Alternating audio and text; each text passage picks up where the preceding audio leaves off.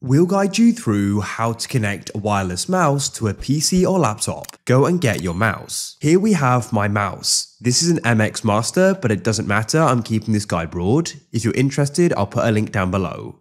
So your mouse may have come with a receiver. If it does, then great. If it doesn't, that doesn't matter. Also, you may have a Bluetooth mouse which you can go and connect as well. If you have a receiver, then we can go and plug it into your computer. Check if your mouse requires a battery and put one in if it does. Now go and plug in the receiver and some mice are just going to be plug and play and you can start using it.